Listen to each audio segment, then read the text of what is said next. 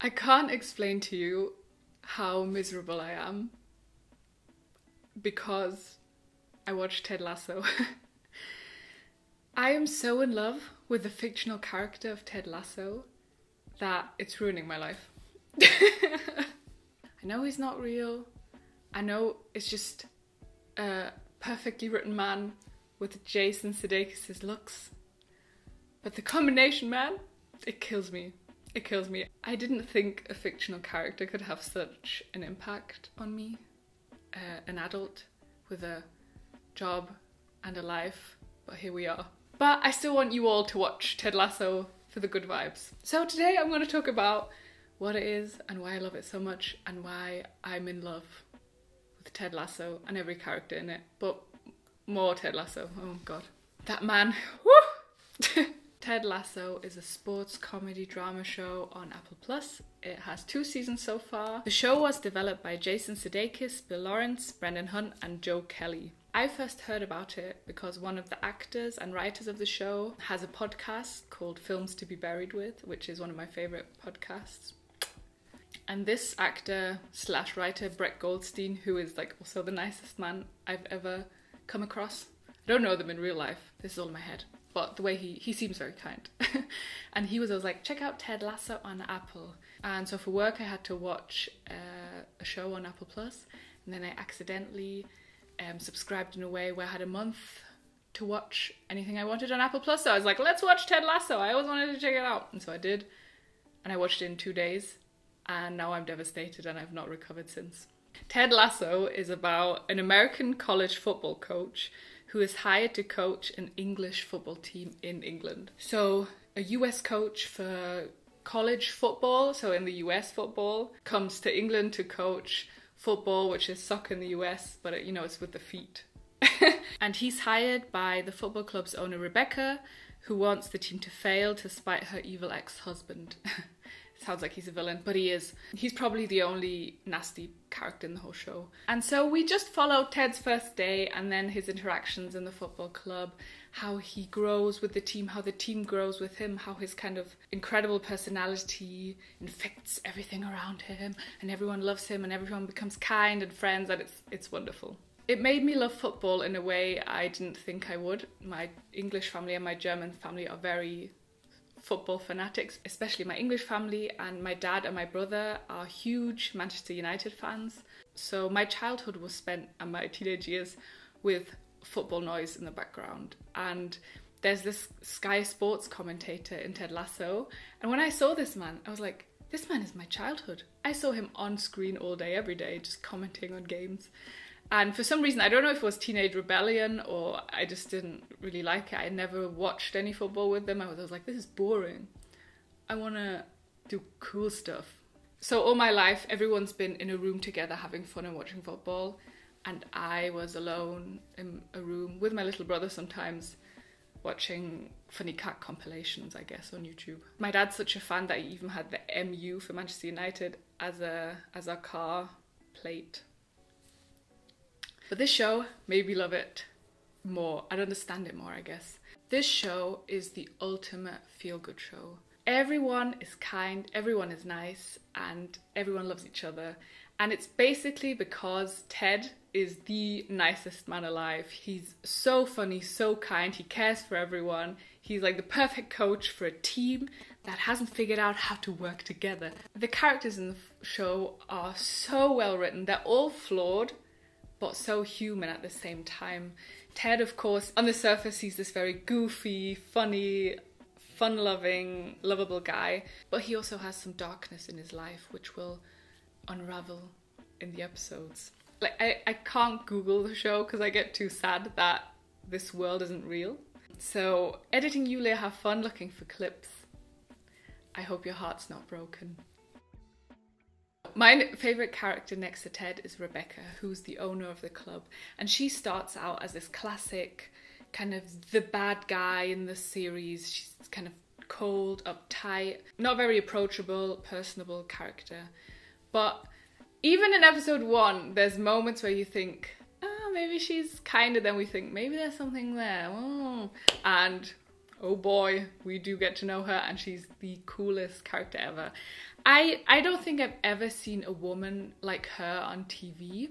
She just illustrates uh, what a complex female character should look like. She just feels real. She has her bad times, she has her good times. She's caring, she's so funny, she's so smart, she's a boss ass bitch. She's just so cool.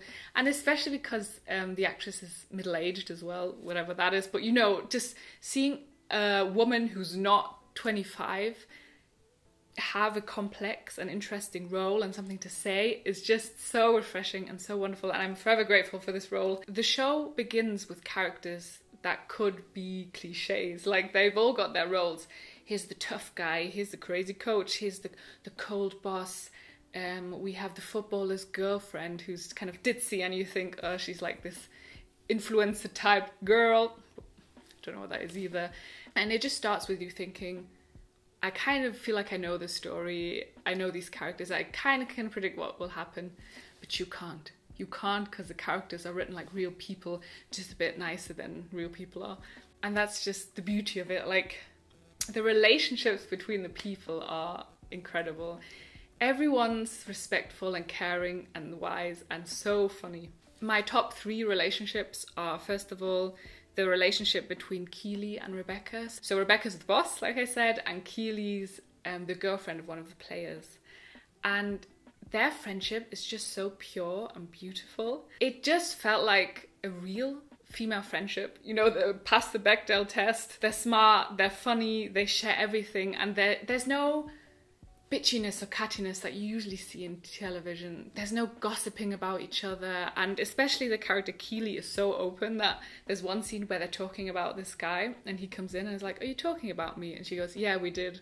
And I was like, "Yes!" The relationships just seem real and nice, and show you as a viewer a way healthy relationship should work and can work. The next relationship I love is also with Keeley. I just think Keeley in herself is an amazing character because she's so wise and funny and sweet and open and ha- has her heart on her sleeve and just wants good things for everyone and supports everyone. Spoiler alert, she gets into a relationship with one of the guys, Roy, who's played by the um, podcast host who I also love. And that is just the the most beautiful, healthy, straight relationship I've ever seen they're just ah they're so kind to each other and respectful and they say sorry they know their boundaries they're open with each other it's beautiful and the footballer her boyfriend roy kent he's portrayed as kind of really angry and stern and serious guy but with her he becomes softer and sweeter. Their last relationship I love is in one of the episodes we're introduced to Rebecca's old friend from her teenage years who is kind of trying to reconnect, and she's called Sassy. And she's introduced in a scene, and for a moment I thought, oh no, this is going to be the mean woman role. She's going to do something bad, and Rebecca will have a fight with her. It's going to be this whole thing. But no, she's just also a nice character, and she's supportive and nice. And she has a kind of a thing with Ted Lasso, so I'm forever jealous of this fictional character. But she's so cool, and her daughter's Rebecca's goddaughter, and so they rekindle their friendship. And it's just so mature and lovely. The whole show is mature and portrays what we all should be like fun and respectful. Next to the fantastic relationships, the show also portrays the like, least toxic masculinity I've ever seen. All the men are soft and sweet so Ted Lasso's sort of supposed to be soft and sweet from the beginning. And the idea, I think, is that you kind of make fun of him. You like him, but you're like, oh, that guy, and everyone around him does. But as the story goes on, you see how his vulnerability and kindness infects the rest, and so everyone becomes so much kinder. And just seeing men sit in a group together and discuss their feelings ah, was so beautiful. Seeing men of a certain generation talk to each other like that was so special. Like they're all in their like 40s and 50s, I assume. I, I don't want to, maybe I'm wrong. But, um, and just to see men sit with each other and openly talk about their feelings and they respectfully give advice was so refreshing. Ted Lasso made me so excited to age. Like, I can't wait. If that's what my life is like in my 40s and 50s and everyone's nice to each other, that's not a very realistic expectation, is it? But I can dream. This was just a video of me rambling why I love it so much, but the last thing I love is how funny it is. The sh- it's just hilarious. The dialogue is so clever, and one of the things I really love is that Ted Lasso drops random pop culture references in normal conversations. So he'd be like, "This this is kind of like," and then reference a movie or a song or something, and it's just so so funny. I also really love is Ted Lasso gives like a big speech to the team, to the footballers, to be like, "We can do this, guys," and the the guys on the team always react really earnestly. Like when Ted Lasso makes a movie reference, he's like, "This reminds me of this and this." All the players just go, mm, "Yeah, yeah." and it's so sweet and funny because they're not making fun of each other. They they're respectful and open and just so smart. I really recommend the show. If you want to be sad about how bleak real life is, go ahead. I I watched a few days ago and I feel like I need a week to fully recover. Like my heart it's broken. I'm just in my feels about the show. It's just. Do you like this cat?